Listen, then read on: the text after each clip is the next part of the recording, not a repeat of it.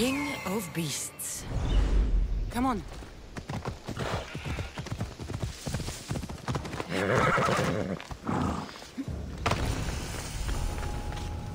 I should try to stay out of sight.